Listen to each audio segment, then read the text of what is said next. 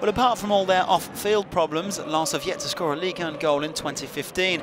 On Saturday, they hosted Bastia in Amiens. The Corsicans are unbeaten in nine matches in all competitions, but they have only won one game on the road in Ligue 1 this season. And it was Lens who certainly started the brighter. A chance here for Adamo Coulibaly. And that one going just over the bar. A similar story in the 26th minute, a ball in for Coulibaly, getting his head on this one. But again, over the crossbar of Alphonse Areola, up against his former side. Lens coming forward again. This time it was Pierrick Valdivia who got a shot away. That one just sailing harmlessly wide of the post.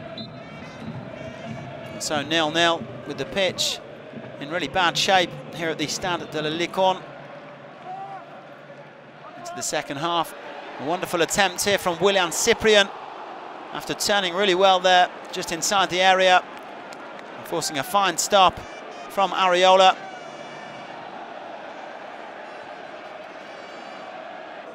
But rather against the run of play, it was Bastia who took the lead and rewarded a penalty on the hour mark as Julian Palmieri was brought down by Dimitri Cavare.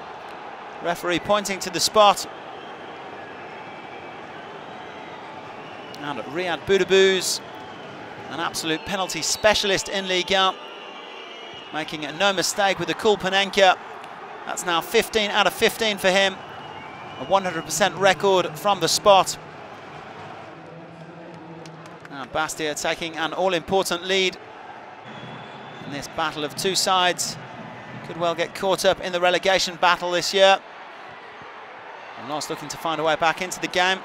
Substitute Aristote Madiani, forcing another good stop from Areola.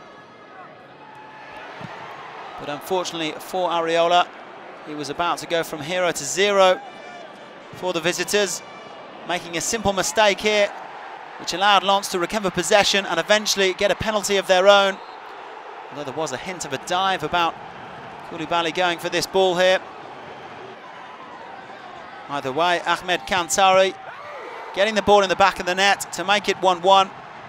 That's his second league on goal, both of them penalties. And really unfortunate for Areola against his former side. Allowing them away back into the match and ultimately getting them a point as well. 1-1, the final score.